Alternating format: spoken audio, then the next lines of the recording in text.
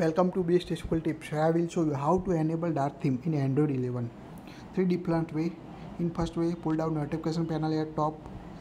Tap on a dark theme to enable or disable dark mode on your Android 11. You can also use settings. Go to settings. Tap on a display. Here you can see dark theme option. Enable or disable toggle to activate it. Tap on a dark theme to customize it. Here you can set schedule for automatically turn on dark theme turn on at custom time turn on from sunset to sunrise.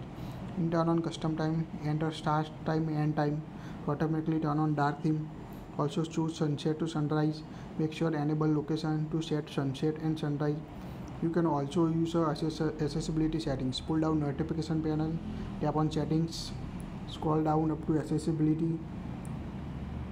Here you can see dark theme toggle enable or disable dark theme toggle to activate dark mode on your Android 11.